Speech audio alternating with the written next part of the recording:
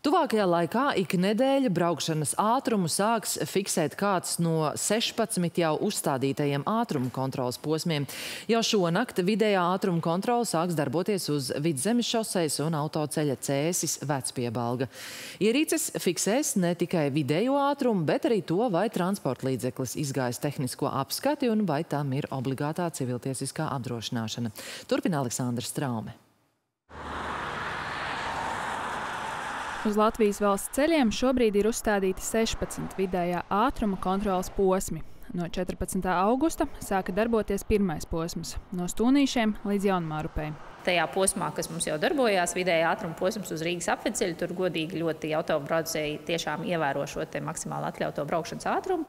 Interesanti, ka visi vidējā ātruma kontrolas radari jau strādā, un informāciju, kas notiek uz ceļiem, atbildīgās iestādes redz. Taču, kā piemēram šeit uz Vidzemes šosejas, pārkāpumus sāks fiksēt no pusnakts. No pusnakts darboties sāks arī posms Cēsis vecpiebalga. Visos posmos ne tikai tiks kontrolēts ātrums, bet arī otsta, tehniskā apskate un uz Vidzemes posma arī viņiete kravas automašīnām.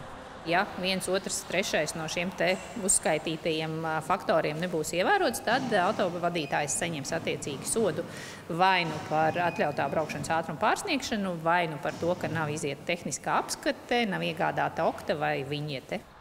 Kaut arī darbojās tikai viens vidējā ātruma kontrolas posms, jau ir labi redzamas ceļu satiksmes izmaiņas.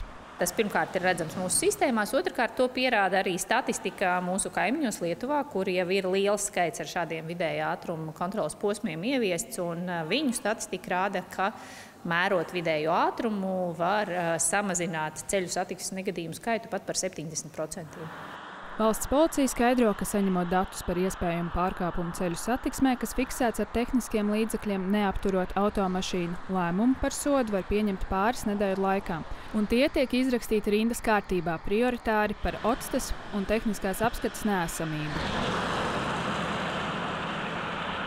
Ik nedēļu sāks darboties arī nākamie vidējā ātruma kontrolas posmi. Aleksandrs Traume, Jānis Goldbergs, Latvijas televīzija.